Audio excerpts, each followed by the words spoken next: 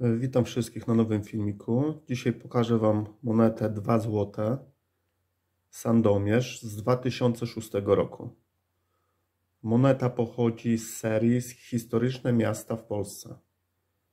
Stempel zwykły, średnica 27 mm, waga 8,15 g, nakład 1 100 000 sztuk.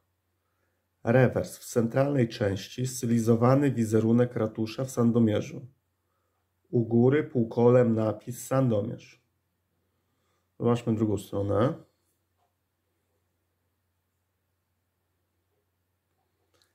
Autor Ewa Tyckarpińska i Urszula Wależak.